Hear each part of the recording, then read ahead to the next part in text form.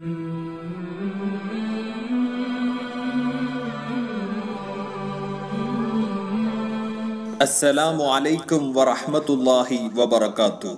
നഹ്മദുഹു വനുസല്ലി അലാ റസൂലിഹിൽ കരീം. അമ്മാബാദ് ഉപ്പയും ഉമ്മയും വല്ലതും പറയുമ്പോൾ ഇഷ്ടപ്പെടാത്ത എല്ലാ മക്കൾക്കും വേണ്ടി സമർപ്പിക്കുന്നു.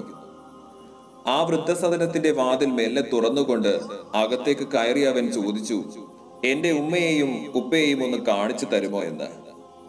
ആരാണ് നിങ്ങൾ? അവരുടെ പേരെന്താണ്? എന്ന് അവിടെ നിന്നും ചോദിച്ചപ്പോൾ മകനാണെന്ന് പറയാൻ മടിച്ചെങ്കിലും വീണ്ടും അവർ ചോദിച്ചപ്പോൾ മറുപടി കൊടുത്തു. എന്റെ മാതാപിതാക്കൾ ഇവിടെയുണ്ട്. ഒന്ന് കാണാൻ കഴിയുമോ? ഇവിടെയാണെന്ന് ഉറപ്പുണ്ടോ? എന്നുള്ള മുള്ളു തറച്ചുള്ള ആ ചോദ്യത്തിന് തല താഴ്ത്തിക്കൊണ്ട് അവൻ മറുപടി നൽകി. ഞാനാണ് ഇവിടെ കൊണ്ടുവന്ന് ആക്കിയത് ഒരു ഫോട്ടോ കാണിച്ച് അവർ ചോദിച്ചു ഇതാണോ നിങ്ങളുടെ മാതാപിതാക്കൾ? മുഖത്ത് നിറഞ്ഞ സന്തോഷത്തോടെ അവൻ മറുപടി പറഞ്ഞു അതെ ഇതാണ്. കുറച്ചു സമയം മിണ്ടാതിരുന്ന അവർ അവനോട് പറഞ്ഞു നിങ്ങൾ അന്ന് പറഞ്ഞതനുസരിച്ച് അവരുടെ ഒരു കാര്യങ്ങളും നിങ്ങളെ ഞങ്ങൾ അറിയിച്ചിട്ടില്ല. കുറച്ച് മാസങ്ങൾക്ക് മുമ്പ് നിങ്ങളുടെ മാതാപിതാക്കൾ മരിച്ചു. നിങ്ങൾ എന്നെങ്കിലും വന്നാൽ ഏൽപ്പിക്കണമെന്ന് പറഞ്ഞൊരു എഴുത്ത് തന്നിട്ടുണ്ട്. ഇതാ. നെഞ്ചിടിപ്പുമായി അവർ നീട്ടിയ പേപ്പർ തുറന്ന് വായിച്ചു നോക്കി. മോനെ ഉമ്മാക്കും ഉപ്പാക്കും ഇവിടെ സുഖം തന്നെയായിരുന്നു പക്ഷെ ജീവിച്ചിരുന്ന കാലം നിന്നെ കാണുവാൻ എനിക്ക് ഭാഗ്യം കിട്ടിയില്ല. എന്റെ മകൻ മക്കളെ പരിധി വിട്ട് സ്നേഹിക്കരുത്. കാരണം നാളെ ഈ അവസ്ഥ എന്റെ കുട്ടിക്ക് വന്നാൽ ഞങ്ങൾക്കത് സഹിക്കാൻ കഴിയില്ല.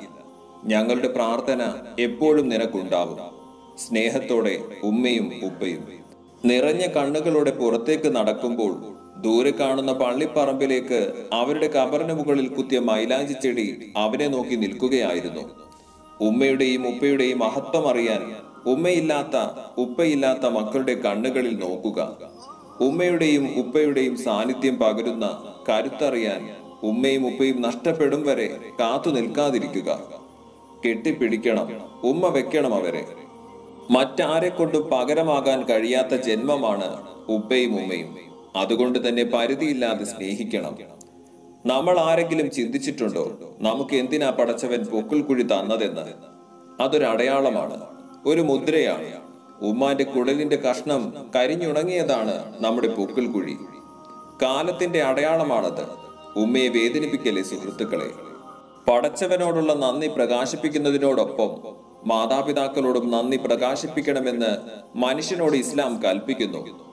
മാതാപിതാക്കളെ വേദനിപ്പിച്ചാൽ അത് മാതാപിതാക്കൾ ക്ഷമിച്ചാലും പടച്ചവൻ നമ്മളെ വെറുതെ വിടുകയില്ല അള്ളാഹു സുബഹാനഹുവത്ത ആല നമ്മുടെ ജീവിതകാലം മുഴുവനും നമ്മുടെ മാതാപിതാക്കളെ ആഫിയത്തോടെ കാണാനും അവരെ പരിചരിക്കാനും നമുക്കെല്ലാം ഭാഗ്യം നൽകി അനുഗ്രഹിക്കുമാറാകട്ടെ ربنا تقبل منا إنك أنت السميع العليم وتب علينا إنك أنت التواب الرحيم آمين برحمتك يا أرحم الراحمين محمد صلى الله عليه وسلم.